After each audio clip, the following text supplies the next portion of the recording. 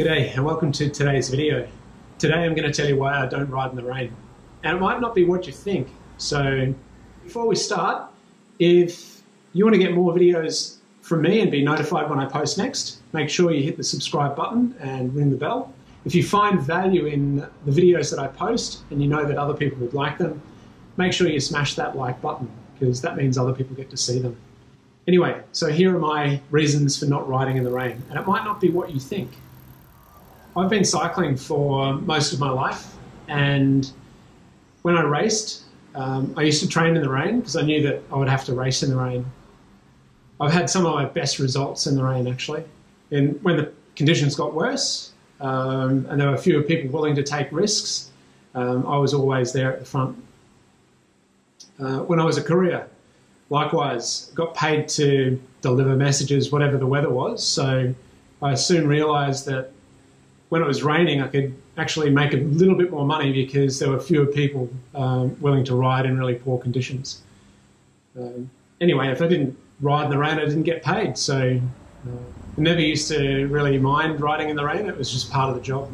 When I started commuting to work about 10 years ago, uh, I used to take some sort of strange masochistic pride in um, riding every day to work, rain, hail, or shine, and came through some pretty gnarly conditions um, when riding to work. Um, but lately, over the past few years, my perspective on wet weather riding has changed. I started to realize something that um, made me question uh, why I needed to ride in the rain, if there was a real need to ride in the rain at all. Yeah, on a very practical note, Brisbane has about 116 to 124 rain days per year. So that's about 245 sunny days without any rain. And last year in 2019, I rode on 222 days of the year. So that gave me about two or three weeks where uh, I still had a bit of buffer against those rainy days. Um, I did ride some rainy days.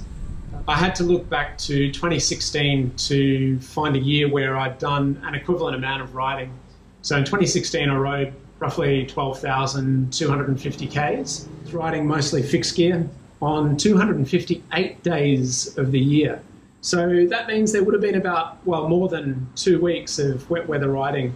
193 days were on the com- commute compared to 140 days last year.